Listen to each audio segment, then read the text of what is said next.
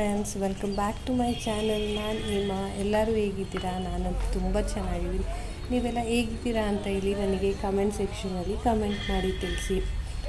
So ನನ್ನ ಮಗಳು full ಖುಷಿಯಾಗಿ ಆಟ ಆಡ್ತಾ ಇದ್ದಾಳೆ ಪಾರ್ಕಲ್ಲಿ. ಯಾರು ನೋಡ್ತಾ ಇದೆಯಾ ಮಗಳ?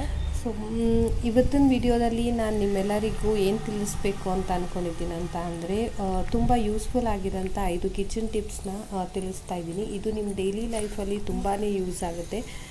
ಸೊ ನಿಮ್ಮೆಲ್ಲರಿಗೂ ಈ ಕಿಚನ್ ಟಿಪ್ಸ್ ತುಂಬಾ ಯೂಸ್ಫುಲ್ ಜೊತೆಗೆ ತುಂಬ ಇಷ್ಟ ಆಗುತ್ತೆ ಅಂತ ಅಂದ್ಕೊಂಡಿದ್ದೀನಿ ಸೊ ಬನ್ನಿ ವಿಡಿಯೋನ ಸ್ಟಾರ್ಟ್ ಮಾಡೋಣ. ಅದಕ್ಕಿಂತ ಮುಂಚೆ ನೀವು ಯಾರಾದರೂ ಇನ್ನು ನನ್ನ ಚಾನಲ್ಗೆ ಸಬ್ಸ್ಕ್ರೈಬ್ ಆಗಿಲ್ಲ ಅಂತಂದರೆ ಮಿಸ್ ಮಾಡದೆ ನನ್ನ ಚಾನಲ್ಗೆ ಸಬ್ಸ್ಕ್ರೈಬ್ ಆಗಿ. ಅದೇ ರೀತಿ ಪಕ್ಕದಲ್ಲೇ ಕಾಣಿಸ್ತಿರೋ ಬೆಲ್ ಐಕಾನ್ನ ಮಿಸ್ ಮಾಡದೆ ಕ್ಲಿಕ್ ಮಾಡಿ.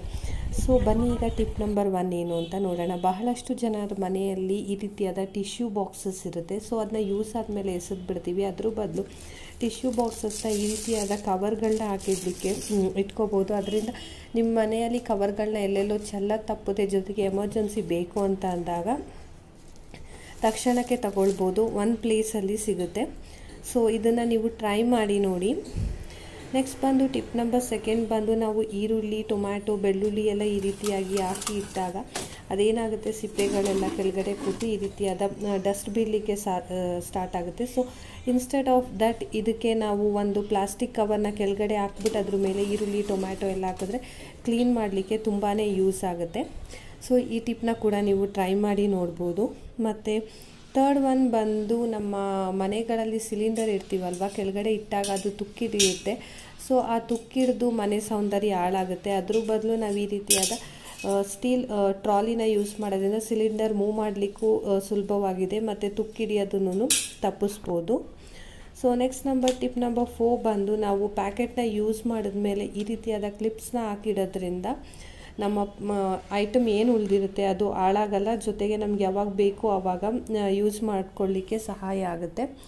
ಸೊ ಈ ರೀತಿಯಾದ ಕ್ಲಿಪ್ಸ್ನ ನೀವು ಕೂಡ ಬೇಕು ಅಂದರೆ ಲಿಂಕ್ ಹಾಕಿರ್ತೀನಿ. ಚೆಕ್ ಮಾಡಿ ಬೈ ಮಾಡಿ. ಅದೇ ರೀತಿ ಸಿಲಿಂಡರ್ ಟ್ರಾಲಿ ಕೂಡ. ಸೊ ಈ ರೀತಿಯಾಗಿರುತ್ತೆ ಕ್ಲಿಪ್ಸು ಇದು ಡಿಫ್ರೆಂಟ್ ಸೈಜಸಲ್ಲಿ ಬರುತ್ತೆ. ನಿಮ್ಗೆ ಯಾವ್ದು ಬೇಕೋ ಅದನ್ನು ಪರ್ಚೇಸ್ ಮಾಡ್ಬೋದು. ತುಂಬಾ ಯೂಸ್ಫುಲ್ ಆಗುತ್ತೆ ಕಿಚನಿಗಂತೂ ಸೊ ನೆಕ್ಸ್ಟ್ ಒನ್ ಬಂದು ಅಕ್ಕಿ ಮತ್ತು ಹಣ್ಣು, ತರಕಾರಿ ಎಲ್ಲನೂ ತೊಳಿಲಿಕ್ಕೆ ಈ ರೀತಿಯಾದ ವಾಷಿಂಗ್ ಬೌಲ್ನ ಯೂಸ್ ಮಾಡ್ಬೋದು. ಇದು ತುಂಬಾ ಬೆನಿಫಿಟ್ ಆಗುತ್ತೆ. ಯಾವುದೂ ವೇಸ್ಟ್ ಆಗಲ್ಲ. ತುಂಬ ಚೆನ್ನಾಗಿ ಕ್ಲೀನ್ ಮಾಡ್ಬೋದು. ಸೊ ಈ ರೀತಿಯಾಗಿ ಮಾಡೋದ್ರಿಂದ ನೀವು ರೈಸ್ ಎಲ್ಲ ಕೆಳಗೆ ಬೀಳೋದನ್ನು ನೀವು ತಡಿಬೋದು. ಸೊ ಈ ಕಿಚನ್ ಟಿಪ್ಸ್ ನಿಮ್ಮೆಲ್ಲರಿಗೂ ಯೂಸ್ಫುಲ್ ಆಗುತ್ತೆ ಅಂತ ಅಂದ್ಕೊಂಡಿದ್ದೀನಿ ಆದರೆ ನಿಮ್ಮೆಲ್ಲರಿಗೂ ದಯವಿಟ್ಟು ವಿಡಿಯೋಗೆ ಲೈಕ್ ಮಾಡೋದನ್ನು ಮರಿಬೇಡಿ. ಮತ್ತು ಹೆಚ್ಚೆಚ್ಚು ಜನರಿಗೆ ಈ ವಿಡಿಯೋನ ಶೇರ್ ಮಾಡಿ ಅಂತ ಹೇಳಿ ಕೇಳ್ಕೊಳ್ತೀನಿ. ಮತ್ತು ನೆಕ್ಸ್ಟ್ ಒಂದು ಇಂಟ್ರೆಸ್ಟಿಂಗ್ ವಿಡಿಯೋ ಜೊತೆ ಸಿಗ್ತೀನಿ ಅಲ್ಲಿವರೆಗೂ ಧನ್ಯವಾದಗಳು. ಬಾ ಬಾ.